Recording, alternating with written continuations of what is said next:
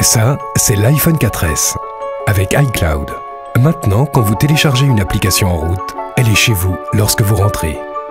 Faites un changement en allant au bureau, il vous attend quand vous arrivez. Décalez un rendez-vous sur ceci, vous êtes à jour sur cela.